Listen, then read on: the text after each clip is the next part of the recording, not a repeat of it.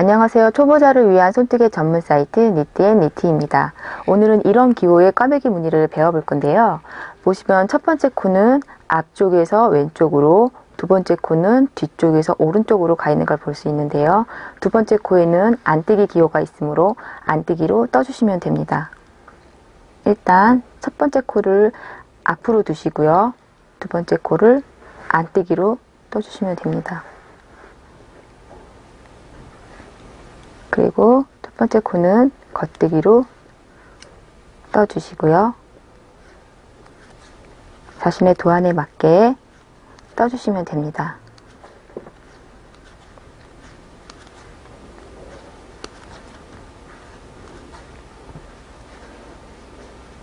그래서 무늬대로 왼쪽으로 가 있는 무늬를 보실 수 있고요. 이렇게 해서 완성해 보았습니다.